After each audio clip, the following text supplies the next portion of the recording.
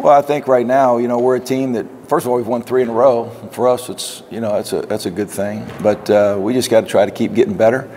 And uh, we can't be a team that's complacent with winning. We're trying to climb the ladder. We're, we're starting off kind of at the bottom. But our guys are playing some confidence right now, and I think that's a good thing.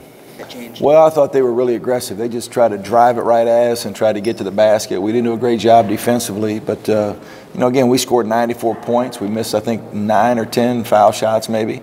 Should have had 100. Uh, so offensively, we're doing some things well. We just got to keep getting better defensively. Get out of that pressure. Well, you got to have a little poise. Can't be in a hurry.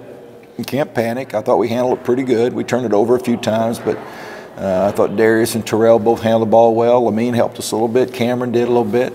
But uh, we had a game where everybody stepped up and did something different to help us win. Um, you know, Lamine wasn't great offensively, but he rebounds the ball. Terrell makes some big shots. Cameron, I thought, played really well again, made big shots for our team. So uh, a lot of good things happened tonight. Uh, you know, uh, I can shoot the ball really well, so I just, you know, just do what my coach asked me to do, look to gun it. So I came out and I was hitting, hitting my threes, and uh, I just kept going. I had to step up because we got up to a cl- slow start, so I had to just step up, and I did that. So uh, this win was important because you know we have a big game New Year's, so you know we have a big win, com- uh, big game coming up that we expect to win.